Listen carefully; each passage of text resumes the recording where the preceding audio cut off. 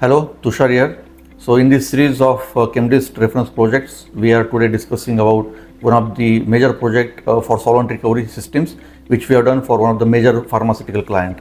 So this system was of 150 kL per day solvent distillation comprising of methanol, acetone and mesityl oxide.